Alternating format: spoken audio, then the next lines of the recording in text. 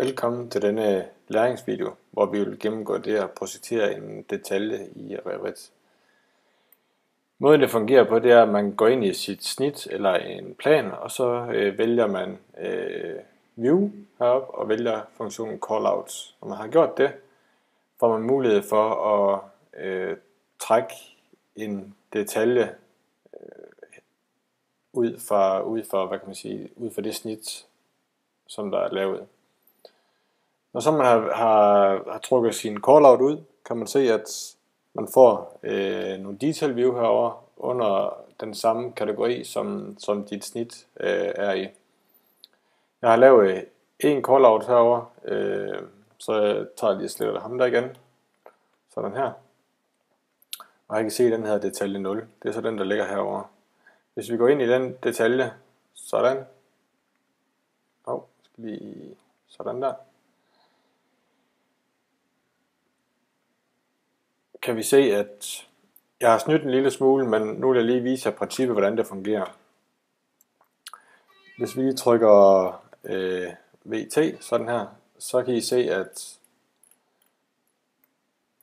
2D-komponenterne og så 3D-komponenterne, de er kørt sammen. Og det er det på den måde, at hvis man klikker på et 3D-objekt, vil man kunne se, at det slår igennem på, på, sin, øh, på sin detalje. Øh, hvorimod hvis man klikker på et øh, 2D-objekt, sådan her, vil I se, at det figurerer ikke over på, øh, hvad hedder det, på 3D-elementet. Øh, så det I kan se, der er, hvad hedder det, 2D, det er sådan som murstenen for eksempel, at det er en, øh, en komponent, der er trukket ud over 3D-objektet. Hvis så vi lige skal gøre den her helt færdig, kan vi se, at vi mangler for eksempel en, en rem her, og så en forankring. Og det fungerer på den måde, at man går ind under sin uh, detail items her, som ligger under sin families, eller så går man op i uh, annotate her, og så tager man den her detail component sådan. Så får man mulighed for at vælge uh, en masse forskellige, jeg tager lige sådan, så får man mulighed for at vælge en masse forskellige komponenter, øh, som ligger i templaten, og det er de samme komponenter, som ligger hernede. Så hvis vi vælger sådan her, og så går vi ind og så siger, at vi skal bruge øh, 3, og så skal vi have en rem på 45 gange 95, sådan, så trækker vi den ind, sådan her, og så er vi lige på rotate, sådan, og så trækker vi lige remmen ned til på plads, sådan der.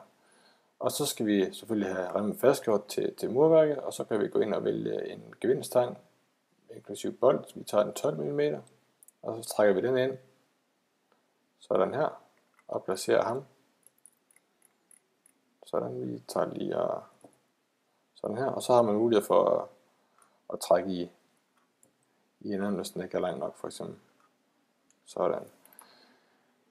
Og så kan vi se nu, at nu kører, øh, hvad hedder det, gevindstangen foran øh, vores rem, og det vil vi ikke have den til. Så kan vi klikke på den, og så heroppe har vi noget, vi kan bring to front og send to back. Så nu sender vi den her tilbage, sådan, og så siger vi lige bring to front. Og det er så fordi vi har en 2, lige kommer den her også, så vi tager ham der, og så siger vi bring to front. Sådan. På den måde er det hurtigt at lave sin detalje øh, i, i, med 2D-komponenter. Og når først komponenterne de er oprettet en gang, er det bare at anvende dem igen på alle de andre detaljer. Så det er sådan set bare at trække dem ind og så placere dem øh, der, hvor det er sådan, de skal øh, placeres på, på detaljen. Så det går rigtig hurtigt øh, med at lave en detalje. Og 2D-komponenterne øh, træder selvfølgelig ikke igennem på, på 3D øh, view herover.